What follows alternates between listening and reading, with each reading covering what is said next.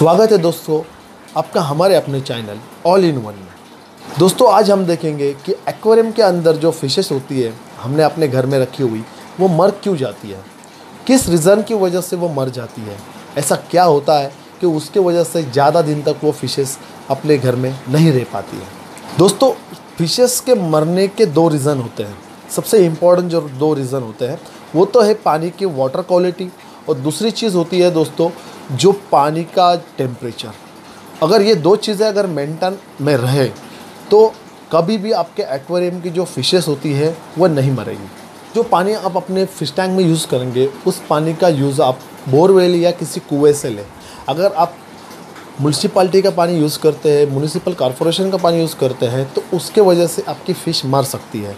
क्योंकि उस पानी के अंदर बहुत सारी दवाइयाँ और केमिकल डाला जाता है उस पानी को साफ़ करने के लिए। जो दवाइयाँ और केमिकल डाला जाता है, वो अपनी फिशेस के लिए अच्छे नहीं होते हैं। उसी वजह से जो पानी के अंदर जो ऑक्सीजन लेवल होती है, वो कम हो जाती है और उसके वजह से फ़िश बहुत जल्दी मर जाती है। तो आप अगली बार जब भी फ़िश टैंक में पानी डालें तो वो आप अपने बोरवेल का या अपने कुएँ का पानी ही डालें। दूसरी बात ये होती है कि आपके पानी का टेम्परेचर आपके पानी का टेम्परेचर कितना है, इसके लिए, इसके ऊपर ही वो फ़िश किस तरह से बढ़ती है या फिर मर जाती है, ये डिपेंड होता है। अगर आप अपने पानी का टेम्परेचर कंट्रोल करते हैं तो मैं बता रहा हूँ कि आपकी फ़िश कभी नहीं मरेगी। ज़्यादातर फिशेज़ जो होती है, वो ठंड के मौसम में मर जाती है, क्योंकि पानी का जो टेम्परेचर होता है, वो बहुत कम हो जाता है। गर्मी के मौसम में इस तरह के प्रॉब्लम बहुत कम आते हैं, पर ठंड के मौसम में बहुत सारी फिशेस मर जाती है, क्योंकि बहुत से लोग ये जो हीटर्स होता है, वो यूज़ नहीं करते हैं। दोस्तों, मैं एक एक करके मेरे पास जितने भी फिशेस है, इनको कितना टेम्परेचर चाहिए पानी का, मैं आपको ये बताऊँगा। सबसे पहले फ़िश मैं आपको बता रहा हूँ, ये जाइंट गुरामी है। जाइंट गुरामी के लिए 20 degree Celsius to 30 degree Celsius का टेम्परेचर लगता है, तभी वो सर्वाइव कर पाती है। फ़िश टैंक के अंदर। उसके बाद है जो एलिगेटर गार जो इसके पीछे वाले साइड में एलिगेटर का उसको 11 degree Celsius to 23 degree Celsius का टेम्परेचर लगता है, तभी वो सर्वाइव कर पाएगी, वरना वो धीरे धीरे मर जाती है।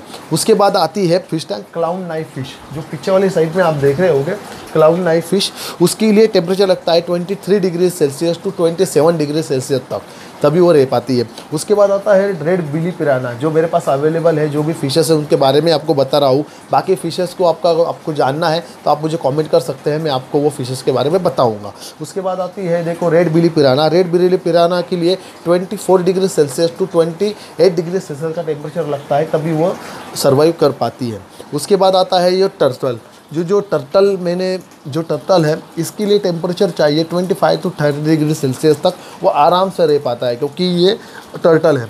उसके बाद में आता है पिकॉक बास फ़िश जो मैंने आपको पहले वीडियो में बताई थी, मेरे पास है दूसरे फ़िश टैंक में। उसके लिए टेम्परेचर 21 टू 27 डिग्री सेल्सियस का टेम्परेचर लगता है, तभी वो सर्वाइव कर पाती है। सर मेंटेन करने की ज़्यादातर प्रॉब्लम्स जो होती है, वो ठंड में आती है। गर्मी के मौसम में इस तरह की प्रॉब्लम नहीं आती है। टेम्परेचर मेरे फ़िश टैंक में मैं किस तरह से कंट्रोल करता हूँ, ये मैं आपको बताऊँगा। इसके लिए मैंने एक हीटर लेके आया हूँ ऑनलाइन मैंने परचेस किया था। ये जो हीटर है सुबह का 300 इसका है 300 हंड्रेड वैट का जो हीटर है एक्वेरियम हीटर हाई क्लास इसको मैंने परचेस किया था। अगर आपको इसको परचेस करना है तो आप इसे नीचे डिस्क्रिप्शन में मैंने लिंक दी है, वहाँ से डाउनलोड कर सकते हैं। इसके ऊपर एक हरे कलर का बटन होता है। ये टेम्परेचर आप इसे कम ज़्यादा कर सकते हैं। यहाँ पे लिखा हुआ है थर्टी फोर थर्टी टू यहाँ तक ट्वेंटी वन बारह, चौदह, सोलह, अठारह, बीस चौबीस, ऐसा लिखा हुआ है इससे आप कंट्रोल कर सकते हैं। पर चेक करने के लिए मैं हीटर के ऊपर डिपेंड नहीं रहता हूँ, क्योंकि हीटर कभी कभी पानी ज़्यादा गर्म कर देता है। तो इसके लिए मैंने यहाँ पे एक डिजिटल थर्मामीटर लगा कर रखा है। अगर आप इसे परचेस करना चाहते हो तो डिस्क्रिप्शन में मैंने लिंक दी हुई वहाँ से आप उसे परचेस कर सकते हो। बस इतना ही।